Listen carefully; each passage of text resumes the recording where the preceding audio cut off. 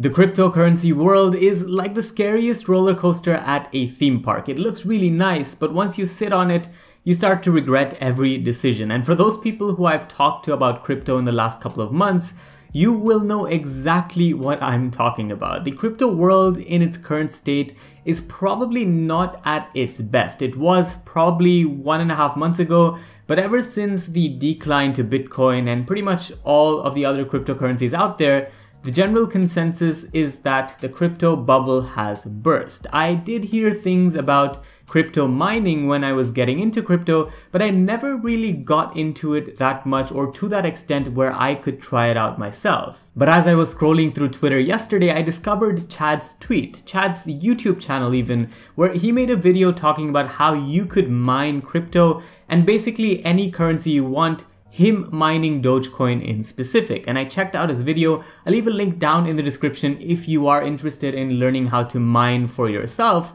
But that really got me thinking, can the new 2021 M1 iMac from Apple mine cryptocurrency? Of course, I do have Parallels running on the iMac you see behind me, and if you want to learn how you can run Windows 10 on the iMac, check out that video I made. But I basically followed Chad's tutorial video on my iMac and got everything set up. And spoiler alert, it wasn't really good. As I recently learned, the hash rate is what defines how fast or how slow you can mine a certain cryptocurrency. And in the case of the M1 processor on the iMac 2021, the hash rate I was getting was 138 to 150 hashes. Just for those people who don't understand anything that I just said, I actually compared this hash rate to the hash rate of my current laptop, which runs a NVIDIA GTX 1050 Ti. And the hash rate I got there was 8 to 8.6 mega hash. So that's a huge, huge difference compared to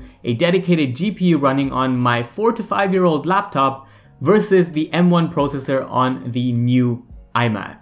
I think the only thing to keep in mind with all of this testing is that the Parallels version that I'm running on the iMac is a trial version, so you're sort of restricted with the hardware power you can use. However, I think even when you upgrade to the full-fledged version of Parallels, you shouldn't be seeing a drastic difference and it shouldn't rival the hash rate of the GTX 1050 Ti I mentioned. And just to cross verify, I also sent out a tweet to Chad asking him about his hash rate and sort of saw what setup he was using. So he's basically got an NVIDIA RTX 2080 Super running on his setup and that comes with a hash rate of about 35 mega hash, which is about four to five times more than the hash rate I'm getting on my laptop. And over the last couple of weeks, he's mined about 100 Dogecoin. So if you keep that in consideration, and if you take into consideration how much my GTX 1050 Ti has mined, which is about 0.32 uh, Dogecoin,